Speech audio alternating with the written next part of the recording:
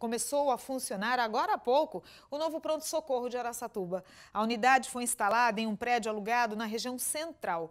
O custo anual de quase 300 mil reais aos cofres públicos é até irônico, já que a cidade tem dois prédios da UPA novinhos em folha, que estão com as portas fechadas. Logo no início do ano, a Prefeitura de Araçatuba anunciou que mudaria o local de atendimento do pronto-socorro do bairro Santana para a região central da cidade, em um prédio particular. A unidade foi alugada pelo Executivo por 24 mil reais mensais. Mesmo a cidade tendo dois prédios que abrigariam unidades de pronto atendimento já finalizados.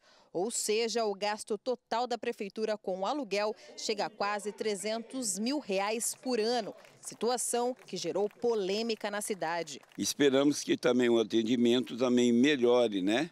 É, porque o atendimento aqui no Santana, ele é, de, ele é bom, não é? E para nós aqui do bairro vai ficar um pouco mais longe. A unidade foi inaugurada hoje, vai prestar atendimento 24 horas. O ministro da Saúde, Gilberto Ock, acompanhou a abertura de perto e anunciou investimentos para o Noroeste Paulista. Estamos anunciando hoje mais oito veículos, são caminhonetes, para vigilância epidemiológica para combate a dengue, zika e chikungunya. Anunciamos também a ampliação de mais leitos na Santa Casa de Birigui e também nós viemos aqui a convite do prefeito de Lador, aqui de Araçatuba, para essa inauguração desse novo pronto-socorro, realizado com recursos da própria prefeitura e que nós em breve iremos apoiar financeiramente como governo federal. A unidade contará com mais de 160 profissionais e vai oferecer serviços de urgência, emergência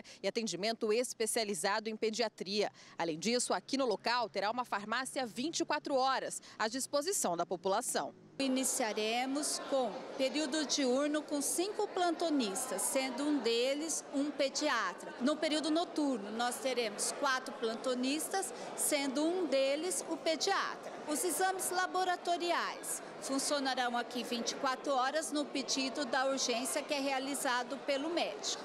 Raio-X teremos aqui instalação para dois raios-x. Um já está aqui funcionando, o outro está no outro pronto-socorro.